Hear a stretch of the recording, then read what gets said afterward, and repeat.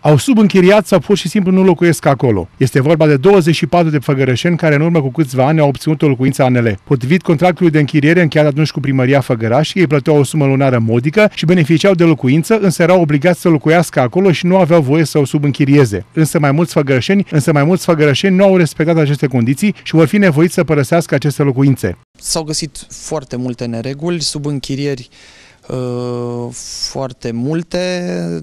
Cei care au mai fost și probleme care uh, n-au consumat deloc, dar uh, și-au plătit uh, chiria, nu și-au plătit chiria, și-au consumat, deci sunt tot felul de nereguli și abateri de la regulamentul de închiriere. Reprezentanții Comisiei de Repartizare a Locuințelor ANL au verificat fiecare apartament și garsonieră din cele 5 blocuri construite pentru tineri din fondul Agenției Naționale pentru Locuințe. Din cele 92 de locuințe verificate, în 12 apartamente locuiau alte persoane decât cele cărora le-au fost atribuite locuințele, în 9 apartamente nu locuia nimeni, iar în alte două locuințe nu s-au înregistrat consumuri de apă și căldură pe o perioadă de 6 luni. În luna ianuarie-februarie au, au făcut o recensământ al uh, blocurilor ANL care era necesar, deoarece de când uh, au intrat proprietarii, uh, de când au intrat chiriașii, nu s-a făcut niciodată acest lucru.